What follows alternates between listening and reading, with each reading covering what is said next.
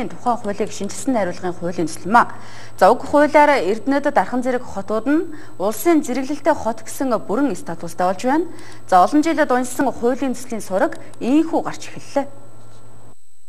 Үндсэн хуулийн нэмэлт өөрчлөлтийг ёсчлон баталснаар хамгийн ихэнд хот тосгоны эрхцэн байдлын тухай хуулийн шинжилсэн найруулгын хуулийн төслийг үзэл баримтлалыг нь хилцүүлгээ хийж хуулийн төслийг боловсруулах учиртай. Уг хуулийн төслөөр улсын зэрэгэлтэй хот болон орон нутгийн зэрэгэлтэй хот зам тосгон гэсэн засаг захиргааны нэгжүүд байгуулагдана. Үндсэн хуулийн нэмэлт өөрчлөлтөөр Эрдэнэт дархан зэрэг улсын зэрэгэлтэй хоттой болно. Энэ нь аймагт тэнцүү хэмжээний эрх мэдэлтэй засаг захиргаатай нэгж болох юм а. За ингэснээр Улаанбаатар хотын төлөвлөлийг сааруулж орон нутг руу чиглэсэн хөгжлийн бодлогыг хэрэгжүүлэх боломжтой гэж үзэж байна. Дархан Эрдэнэт нь Сэлэнгийн улманд булганы нутаг дэвсгэрт байлаж байгаа хэдий ч өөрийн гэсэн эдэлбэр газартай болж хотын статусаар хөгжнө. Ерхий сайттай шууд харьцаж хотын татвар тогтоох боломж нь нэгдэх юм а. Тэр хотын захирагч хотын зөвлөл Орхон аймгийн иргэдийн хурал засаг дарга энэ дөрв дахиад ийм хоёр хүн гарч ирэх үү гарч ирэхгүй юу гэдэгт тийм үү хариу өгөх шаардлага гараад байна гэж. За орон нутгийн зэрэгэлтэй хотын хувьд бол одоо шинэ аймгийн төвүүд байж байна.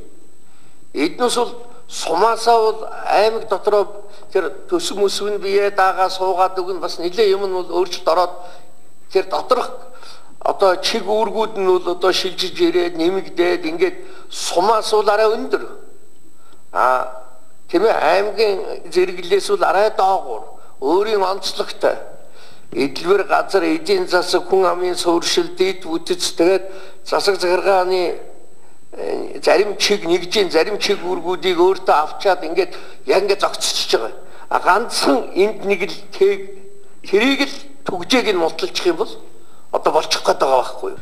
Орхон аймгийн жишээ, Дарханы гэдэг юм юм жишээнүүд та яг хэлж байна. Дөрвөн дарга гараад нэг асуудлыг шийдэх гээд байх биш тэнд нөгөө өөрчлөх замаар байгуулчих юм бол ерөөсөө л хотын удирдлага нь тэрний асуудлаа шийдээд аваад явна.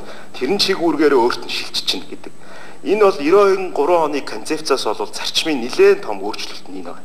Энийний суур нөгөө нэмэлт өөрчлөлтөөр чиг үүрэг шилжихтэй бол шууд бас зөрчилдөхгүй.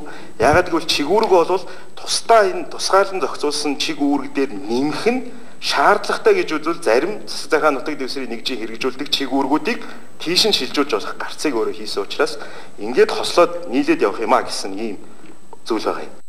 1993 онд хот тосны эргэцэн байдлын тухай хуулийг баталж байсан гэвч энэ хуулийг биелүүлж чадлаггүй өнөөдөр Улаанбаатар хотод төвлөрөл өсчээ. Улсын зэрэгэлтэй хот бол өөрийн гэсэн татвартай чөлөөт бүстэй байх боломжийг нь бүрдүүлсэн байх зохицуулттай юм.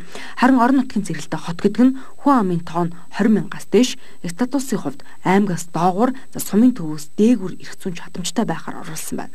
Харин тосгоны хувьд хөдөө аж ахуй үйлдвэрлэл, аялал жуулчлал, амар сувлал, тээвэр худалдаа зэрэг салбарын аль нэг нь хөгжсөн суурин газар байна гэж үзжээ.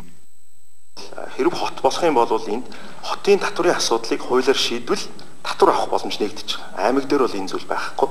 Нимх нь шууд статусаараа нөгөө тухайн нэгж одоо юу гэдгийг оршин байгаа тэр хоттой холбоотойгоор татврын хувь хэмжээ тогтоох эрхүүд бол бас хэвээр хадгалагдана.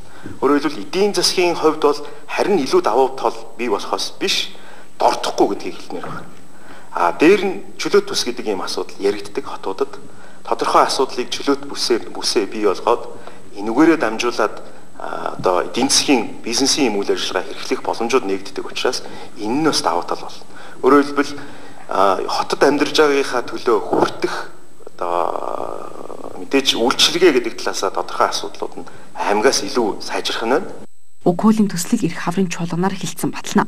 Улсын зэрэгэлтэй хот, орон нутгийн зэрэгэлтэй хоттой олсноор засаг захиргаан аймаг сумдын засаг дарга, иргэдийн хурлын дарга зэрэгтэй давхцах асуудал үүсэхгүй гэсэн болгоомжлол байна. Гэхдээ зэрэглэлтэй хотууд нь өөрийн гэсэн эрх мэдэлтэй шийдвэрлэх асуудалтай байх учраас эрх үүргийг нарийн заглах боломжтой гэж хуулийн төслийн ажлын хэсгийнхэн мэдээлж байна.